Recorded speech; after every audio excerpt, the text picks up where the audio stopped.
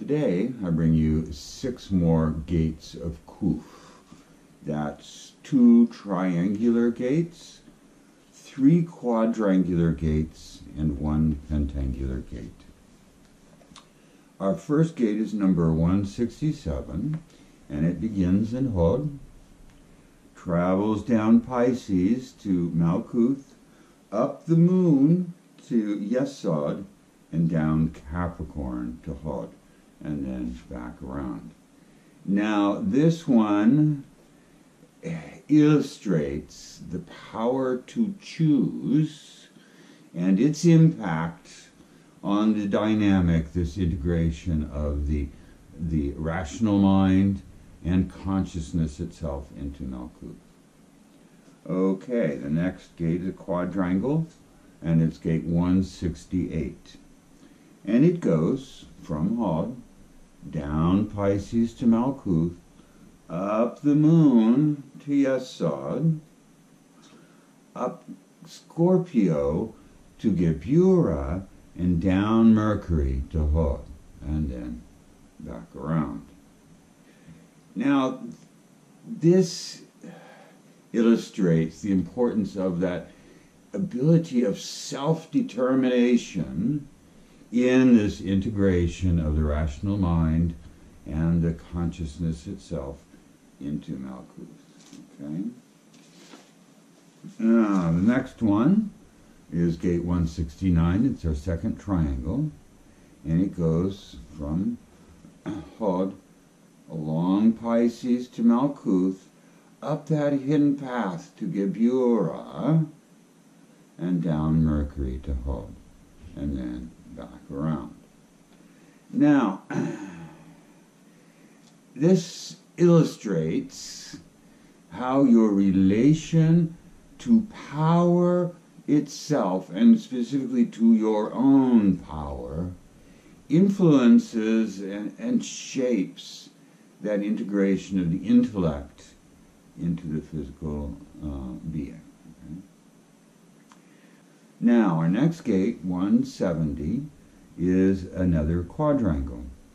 And it goes from Hod down Pisces to Malkuth, up that hidden path to Gedula, across Aleph to Gebura, and down Mercury back to Hod, and then back around. Now, this talks about that dynamic between Gedula and Gebura and how our connection to the collective influences and takes part in that integration of the rational intellect into the physical body. Our fifth gate is gate 171, another quadrangle, and it goes from Hod to Malkuth, up that hidden path to Gedula, up the path of Leo to Tiferet, and then down the hidden path from Tiferet to Hod, and then back around. Okay, now, this again speaks about the our connection to collectivity, the power that the collective our attachments to collectivity uh, play in this integration, but it's also, it brings in the most noble aspect of the solitary self that touches into the collective awareness and connects to Malkuth, okay? Our final gate for today is our pentangle, gate number 172 and it comes from Hod, follows Pisces to Malkuth, takes that hidden path up to Gedula, takes the path of Leo to Tiferet, and the path of Virgo down to Gebura, and then Mercury down to Hod, and then back around.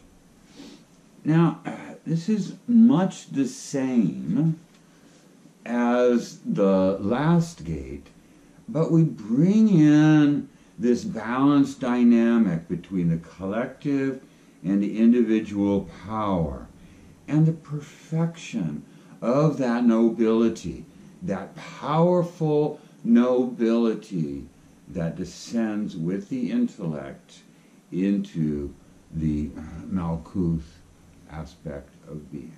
Okay? So those are our gates for today, and I'll be back again with more. Till then, bye bye.